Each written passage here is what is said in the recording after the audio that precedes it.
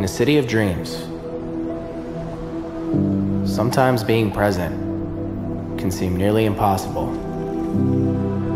The early mornings offer up rare stillness, a chance to refresh and prepare for the task that lies ahead.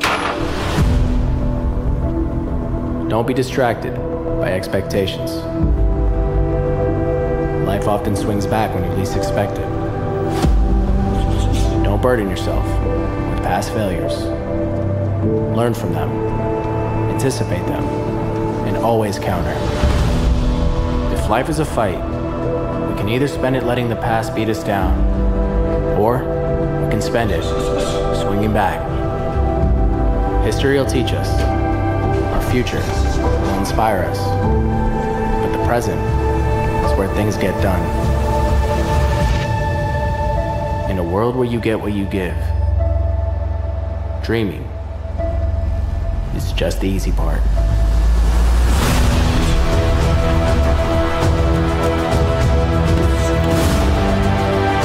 Every day, there's a choice. Either wait for tomorrow, start a new chapter, or fight as if today was our last. Because when you have the presence of mind, there is no tomorrow. There is no yesterday. There is only right now.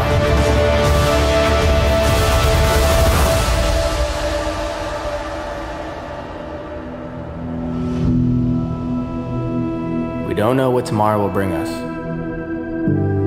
or where it will take us.